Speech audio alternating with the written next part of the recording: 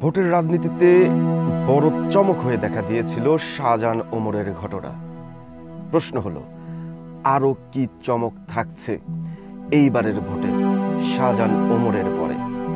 দুই হাজার চব্বিশ সালের সাত জানুয়ারির নির্বাচনের সর্বশেষ চমকের নাম ছিল শাহজাহান ওমর।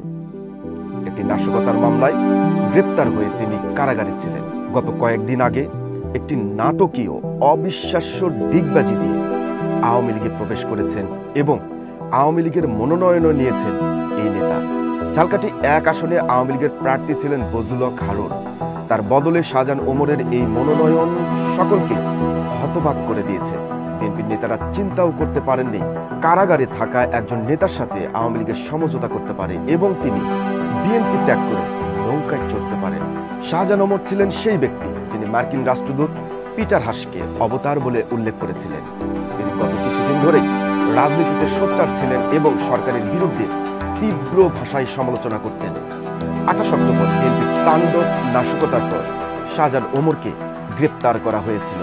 গ্রেপ্তার হওয়ার পর সরকারের সঙ্গে তিনি কীভাবে সমঝোতা করলেন? কীভাবে তার জামিন হলো? সে এক কঠিন বিষয়। এখন বিএনপির নেতারা বলছেন কাউকে আর বিশ্বাস করা যায় না। কারণ কারাগারে থাকা একজন নেতার সাথে যদি আওয়ামী লীগ দর কষাকষি করে সমঝোতা পৌঁছতে পারে, তাহলে কেন মির্জা ফখরুল ইসলাম আলমগীরের সঙ্গে নয়? কেন মির্জা আব্বাসের সঙ্গে নয়?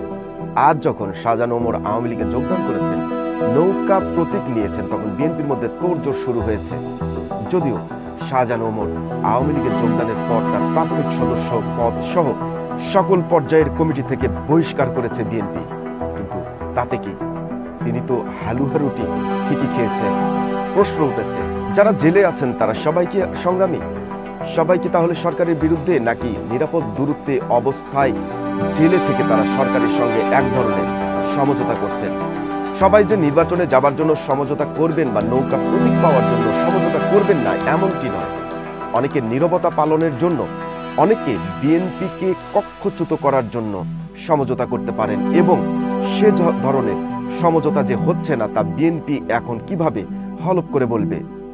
বিভিন্ন সূত্রগুলো বলছে, আজ বিএনপির স্থায়ী কমিটির সদস্য মির্জা আব্বাসের মামলার রায় দেওয়ার কথা ছিল, কিন্তু সেই রায়ের তারিখ বারোই ডিসেম্বর পর্যন্ত পিছিয়ে দেওয়া হয়েছে। এটিও কোনো সমঝোতার আলামত কিনা তা নিয়েও গুঞ্জন শুরু হয়েছে। বিএনপি নেতা মির্জা ফখরুল ইসলাম আলমগীর কারাগারে আছেন। কারাগারে থাকা অবস্থায় তার সাথে সরকারের কোনো রকম আলাপ আলোচনা বা সমঝোতা হচ্ছে কিনা তা নিয়েও এখন চলছে তুমুল গুঞ্জন।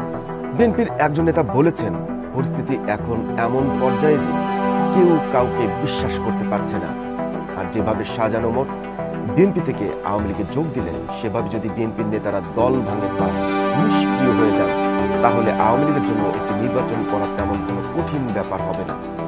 আর এরকম একটি নির্বাচন করার জন্য আওয়ামী লীগের নানা কৌশল নিচ্ছে, সেই কৌশলের কাছে বিএনপি বারবার মার খাচ্ছে। শাহজাহান ওমরের চমকের পর বিএনপি আরেকবার ব্যাকফুটে চলে গিয়েছে। কারণ বিএনপি এতদিন ধরে বলছিল, তাদের বড় কোনো নেতাই দল ত্যাগ করবেন না। কিন্তু সেই জায়গায় শাহজাহান ওমরের নৌকায় জায়গা করে নেওয়া বিএনপির জন্য একটি বড় হোচট হয়ে দেখা দিয়েছে। বন্ধুরা, কেমন লাগল নিউজটি অবশ্যই কমেন্টস করে জানাবেন। ভালো লাগলে লাইক দিবেন। পরবর্তী ভিডিও দেখার আমন্ত্রণ জানিয়ে বিদায় নিচ্ছেন হাসান স্বপন। সবাই ভালো থাকবেন, সুস্থ থাকবেন।